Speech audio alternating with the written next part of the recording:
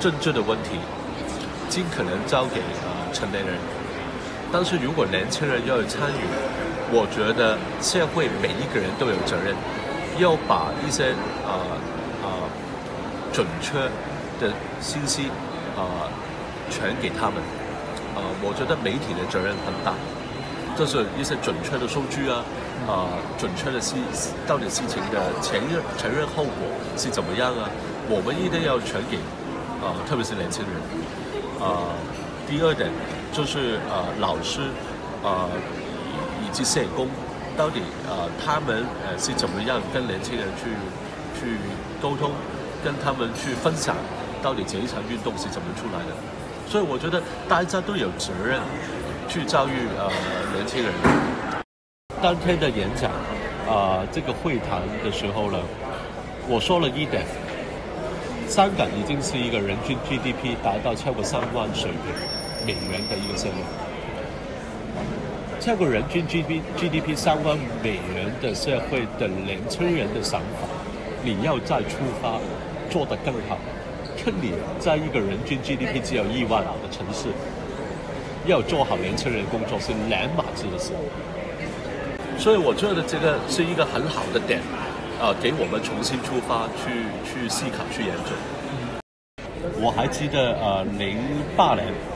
啊，我出来租一套啊，在九龙啊，也是中心地区的一套啊，大概四十平方米的房，我当时的租金。是大概七千块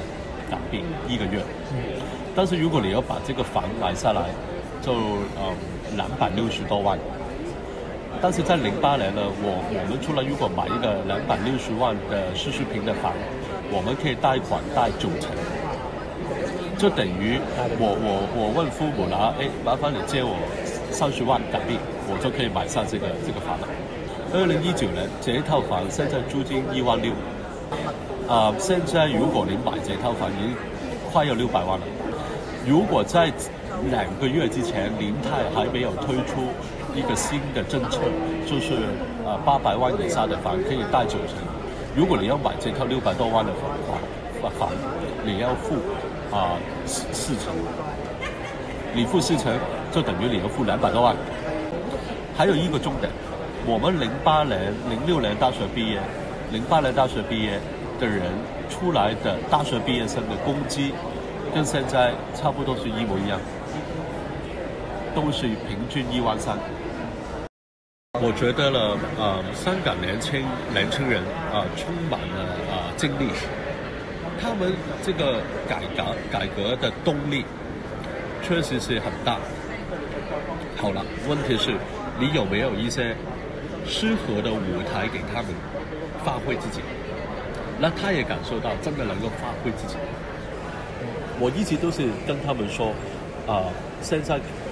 运动已经发展了半年，我们应该要进入一个真的坐下来谈方案的时候，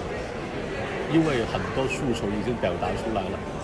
但是如果你老是不谈，问题不能解决。